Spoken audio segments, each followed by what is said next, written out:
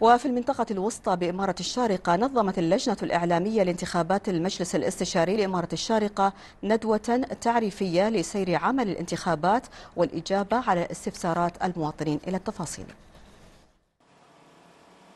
مع بدء التسجيل في الهيئات الانتخابية للمجلس الاستشاري بإمارة الشارقة عقدت اللجنة الإعلامية للانتخابات ندوة تعريفية للمشاركين. سبقتها جولة لرئيس اللجنة في الدوائر الانتخابية بالمنطقة الوسطى. الترتيبات اللي موجودة مثل ما شفناها ما شاء الله جاهزين على أعلى مستوى. والحمد لله صار في إقبال جيد من قبل المواطنين الكرام للتسجيل في هذه الدائرة. وإن شاء الله نتمنى الأيام الجاي يكون كذلك الإقبال أكبر وأكبر إن شاء الله. فنشكر كل العاملين على هذه الدائرة ونشكر كل المواطنين الذين سجلوا واللي إن شاء الله كذلك ناويين يسجلون في خلال الأيام الجاية إن شاء الله.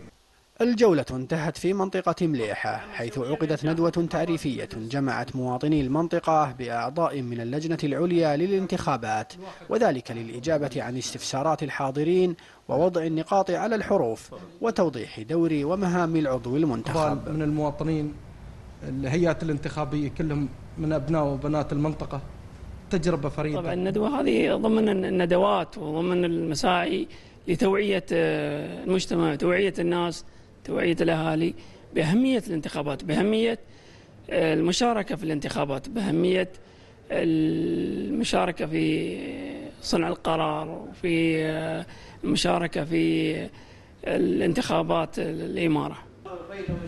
مداخلات الحاضرين وملاحظاتهم أثرت الندوة وعبرت عن المشاركة الفعالة للمواطنين في إنجاح هذا الاستحقاق الانتخابي الهام الذي يهدف كل مشارك فيه إلى خدمة الإمارة الباسمة. مع بدء وانطلاق التسجيل في الهيئات الانتخابية لمدن ومناطق إمارة الشارقة. تأتي هذه الندوة التعريفية لتضع النقاط على الحروف وتجيب على أسئلة واستفسارات المشاركين. لأخبار الدار حامد محمدي من مركز الناشئة بمليحة.